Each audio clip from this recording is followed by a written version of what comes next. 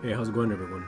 So I'm back with another video and this one's mostly going to be a demonstration.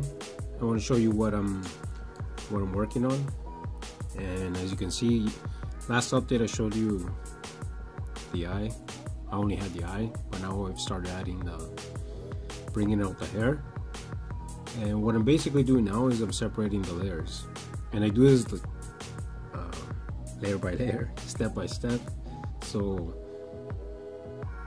hair grows in layers so you would have uh, this layer here overlaps the layer above below and then this layer overlaps the layer here and so on. So what I'm doing here is I'm separating these. And I do this by darkening the the shadows.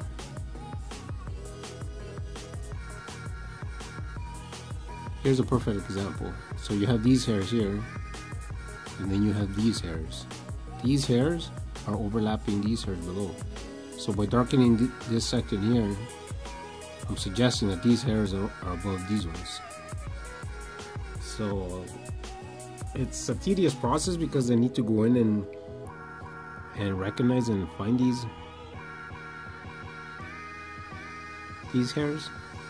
But this comes with with practice so the more that's why I always say the more you understand hair the easier this step becomes because you recognize these patterns and you recognize these uh, which hairs are below and which ones are above.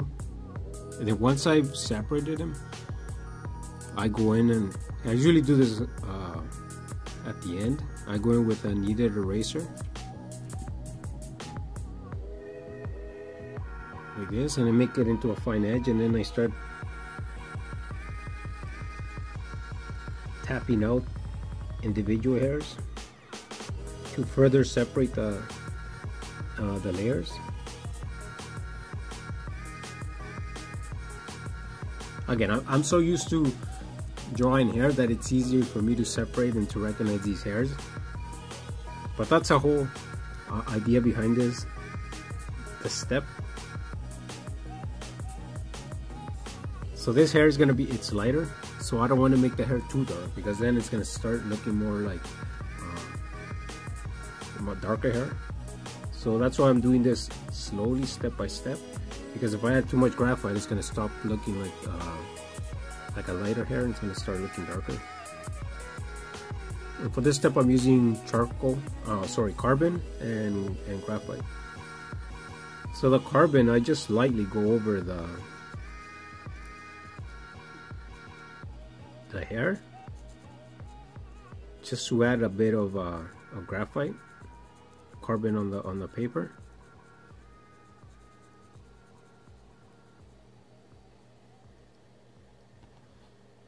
And then with this this is a makeup uh, tool. It's, the, the tip is spongy. So then I use this to just spread out the to blend in the the carbon. If you don't know carbon is a combination of graphite and charcoal so the reason I like using carbon for this step is because it easily uh, blends so I don't need to add too much pressure to spread it around. See just by doing this you can see the you can begin to recognize the layers.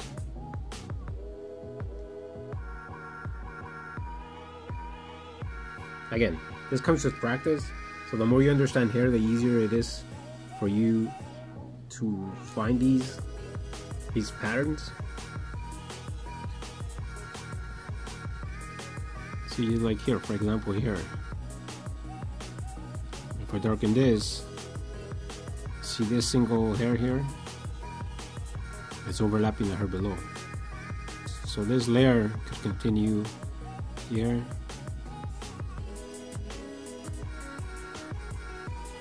and so on right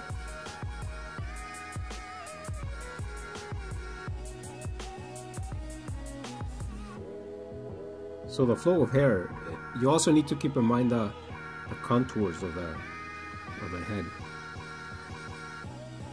So the hair would just imagine lines going this way.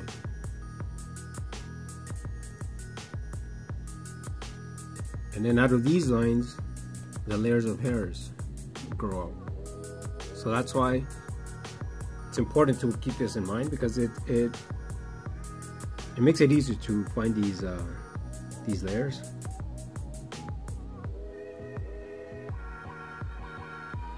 And what I'm using this pencil right here this is a 5H pencil. And it, it's light. It's harder so it needs uh, I don't add a lot of graphite to the uh, to the paper a light layer.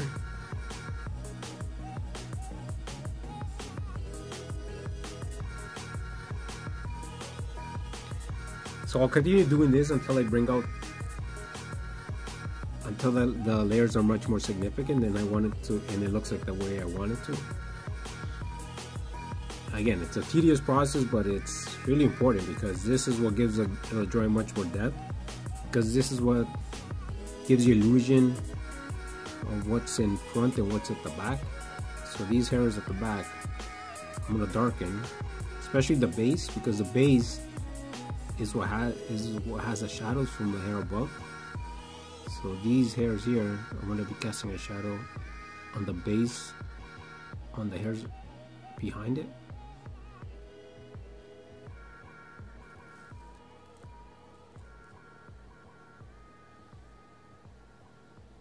so I'll just continue doing this. For all the for all the hair. Again this is just one section. I still got to do all this down here.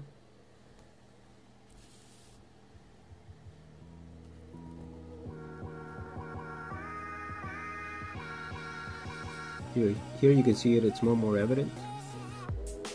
See these tiny little hairs? These are above the hairs below here so by darkening these hairs, these hairs stand out and they jump out more and they become more, more evident.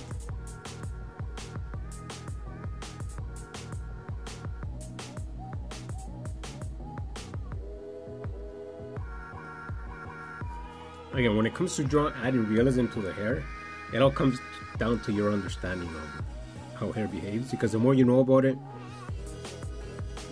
the easier it becomes to add these details. You can only add so much of, uh, of what you know. So if you only know a certain amount of what, how hair behaves and how it looks and all, that's only that's the only that's as much as you can add. So the more you know, the more details you can add to your to your drawings. Not only for hair, but for everything: skin, uh, uh, textures, wood textures, whatever it may be. The more you know about it, the more detail you can add to your, to your drawings. So yeah, so hopefully this was helpful. And I can go for hours, but this is it would be like a long, extremely long explanation because these these drawings take a long time. It's just this section here, just to finish this section off. It's gonna take me a couple of couple of days on the same stuff, just adding and layering and bringing out the shadows and highlights and so on in order to bring out the, the layers.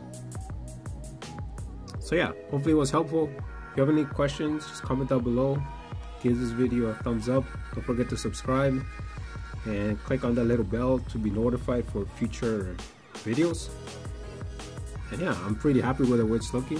What you're seeing here is not gonna, it's far, so far, far from what it's gonna look when it's finished but hopefully next video you guys can see how much I how much of a difference these these steps that I just described make. So yeah thanks for watching and I'll see you guys next time